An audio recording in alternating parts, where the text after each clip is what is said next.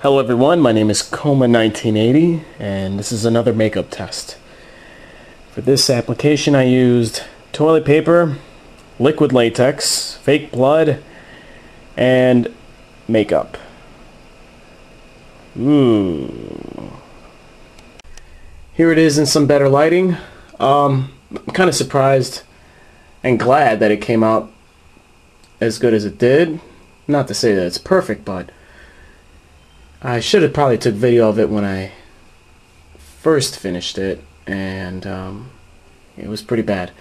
But um, I kept messing with it, and you know, came up with this. So there you go.